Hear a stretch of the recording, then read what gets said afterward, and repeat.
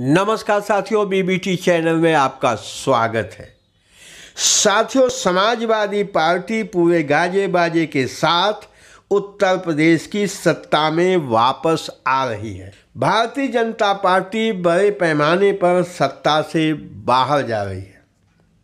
यह हम नहीं कह रहे साथियों। एबीपी न्यूज़ पे एक परिचर्चा आई इस परिचर्चा में एक सर्वे का परिणाम बताया गया। उस सर्वे के परिणाम को देखने के बाद यह बात हम कह रहे हैं।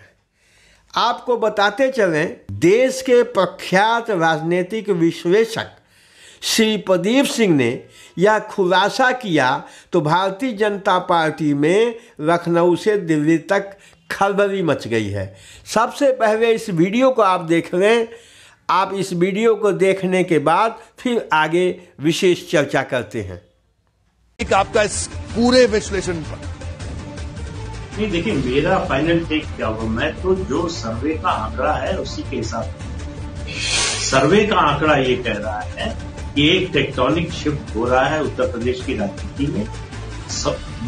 भारतीय जनता पार्टी सत्ता से बड़े पैमाने पर बाहर हो रही है और समाजवादी पार्टी पूरे गाजे बाजे के साथ सत्ता में वापस लौट तो इस, ये ये सर्वे इसके अलावा और कुछ नहीं है। एकदम स्पष्ट रूप से इसमें कहीं कोई एम्बिग्विटी नहीं है, कोई भ्रम नहीं है, कोई कोई शक सुबह की गुंजाइश नहीं है।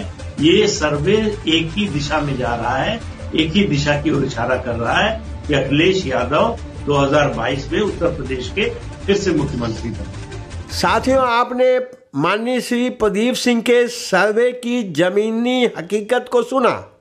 यह जमीनी हकीकत का दावा कर रहे हैं।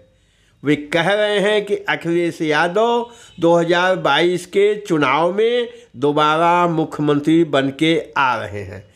उनकी सत्ता में वापसी पर कहीं कोई संदेह नहीं रह गया है। दूसरी तरफ़ आपको हम एक प्रमाण दिखा रहे हैं।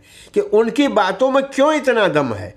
आज समाजवादी पार्टी की समाजवादी विजय यात्रा माननीय मुख्यमंत्री योगी आदित्यनाथ के गृह जनपद गोरखपुर से स्टार्ट हुई।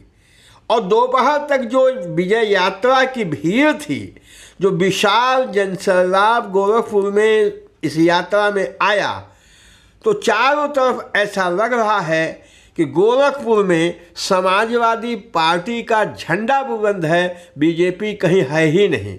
इस विजय यात्रा का आप चित्र देख रहे हैं और कहीं भी नज़र डालिए तो जैसे लगता है कि चारों तरफ़ समाजवादी पार्टी के समर्थक, उनके कार्यकर्ता, उनके पदाधिकारी और इसके साथ साथ आम पब्लिक माननीय श्री अखिलेश यादव का स्वागत करने के लिए सड़कों पे उतर आई है। यह जनता इस तरह से आ रही है। साथियों, यह जमीनी हकीकत है।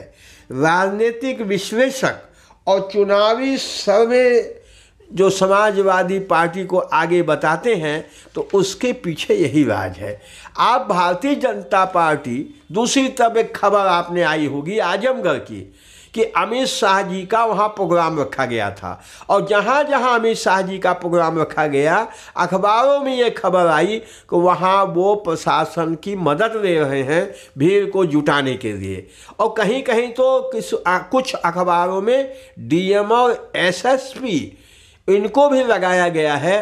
रोडवेज़ की बसें लगाई गई हैं कि आप ऐसी मीटिंगों में जनता को ले आवें। लेकिन इसके बाद भी भारतीय जनता पार्टी में, भारतीय जनता पार्टी की सभाओं में भीड़ बहुत कम हो गई। दूसरी तरफ़, समाजवादी पार्टी की सभाओं में, समाजवादी पार्टी की विजय यात्रा में और उनके जो घटक दल जिनसे वो समझौता कर रहे हैं, उनकी भी ताकत बहुत तेज़ी से बढ़ रही है। तो ये सब देखते हुए और जिस तरह से ये आज माहौल बना हुआ है प्रदेश में, वो खासकर उत्तर प्रदेश में और पूर्वांचल में कि तमाम छोटे छोटे दल समाजवादी पार्टी से समझौता कर चुके हैं, कुछ कर रहे हैं और इसी तरह से तमाम पार्टियों के वरिष्ठ नेता समाजवादी पार्टी में शामिल हो रहे हैं।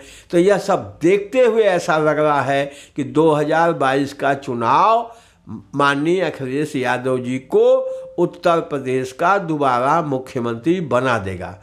तो श्री प्रदीप सिंह जी जो चर्चा कर रहे थे एबीपी न्यूज़ के परिचर्चा में, उसमें दम है और वह ज़मीनी हकीकत है।